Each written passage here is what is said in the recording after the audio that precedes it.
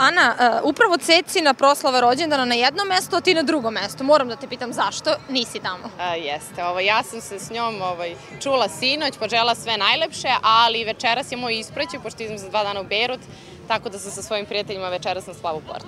Ovde si dočekana kao prava zvezda i svi kao Cecina snajka, Cecina snajka. Moram da te pitam, jesi li ti i Veljko opet prijatelji sada kad putuješ? Da, opet smo prijatelji, ja putujem za dva dana i on me podržava u tome, ovaj, ne želi da me sputava, ja zaista moram da se bavim modelingom, mi smo dobri prijatelji i to je to. Kako to možeš tako hladno? Sad smo prijatelji. Ne, pa nije hladno, nije hladno. Ovaj, najvažnije je biti dobar prijatelj i dobar čovek. Sve ostalo dođe i prođe.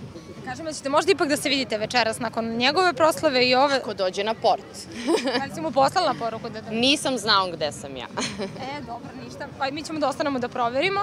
I kažem, je li Anastasija možda zamerila neke naslove u vezi sa onim izlaskom Ne, ne, ne, ne, baš smo pričale pre možda dva dana na kafi, ona kaže svi su me zvali bespotrebno s obzirom da ona zna da smo Kasadin i ja dugogodišnji prijatelji i nema razloga da joj smeta. Uživaj večeras. Hvala, draga.